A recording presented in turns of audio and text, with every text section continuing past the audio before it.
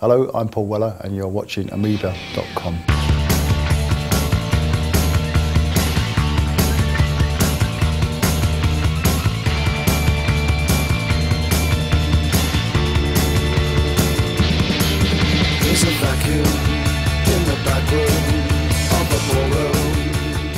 picked two records that every home should have. Tropicalia, which is a compilation right, from a label called Soul Jazz. Late 60s Brazilian music, which kind of took over from Bossa Nova. Every track's great, I would say, on this anyway. Os Mutantes, Veloso, Gilberto Gil.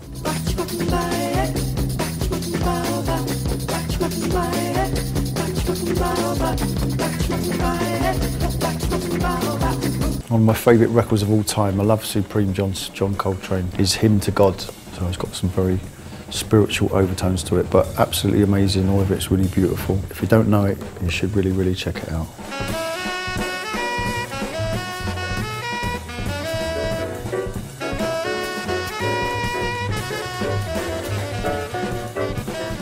T-Rex, which I've not seen in England, I'm sure it's out in the UK, but um, it's uh, the 40th anniversary, yeah. Electric Warrior, which is a T-Rex album from the early 70s, uh, which is, you know, was mega as well. Got so many great tracks on it. He pre- preempted Bowie in some ways, David Bowie, in kind of um, kick-starting the 70s for all the kids who kind of missed out on the 60s, were too young to kind of really be part of the 60s scene, but he kind of sort of looked and dressed and spoke for a lot of, uh, of kids of that time anyway.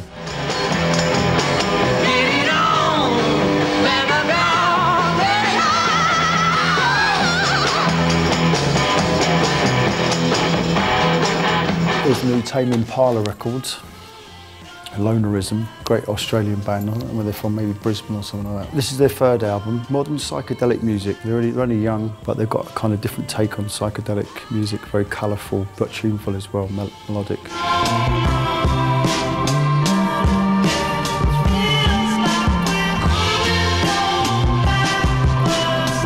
It's another great series of compilations, right, with Ethiopian music from like the 60s and 70s. It sort of borders African music and it also has a kind of element of uh, Arabic sort of music in it as well, Middle Eastern Arabic music, and just amazing sound. You know, it's a different sound to our to our ears in the West, but really, uh, really amazing music, beautiful melodies, and the language is very um, fluid and, and poetic. But that's a great series.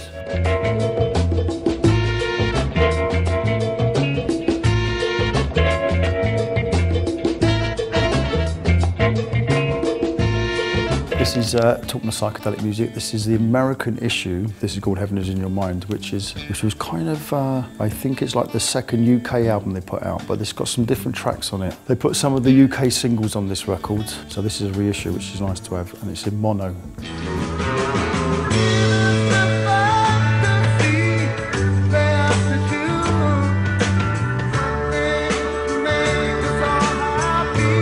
Rodriguez, which is nice to see that he's kind of back in people's conscience again because it's he went missing for some time anyway, for probably I don't know 40 years or something. But they made a documentary about him very recently anyway.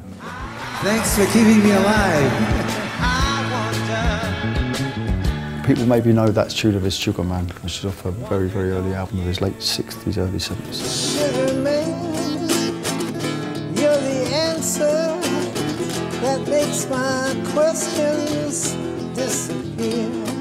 So I bought a Stockhausen record. I only know some of these things, I don't even know what the titles are, but avant-garde, you know, I don't know what they call that sort of music. I suppose experimental avant-garde music. Great textures in it anyway. Made in Germany.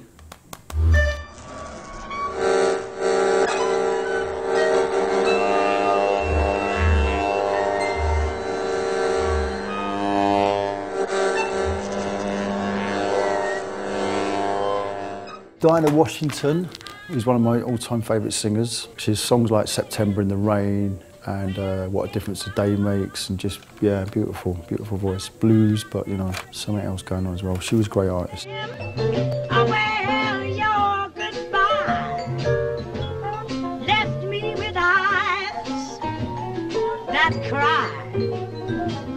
How can I? But that's just a small, this is not even a tip of the iceberg in this beautiful shop of yours. I could probably spend like a week in here and then I'd be only be at the tip of the iceberg probably.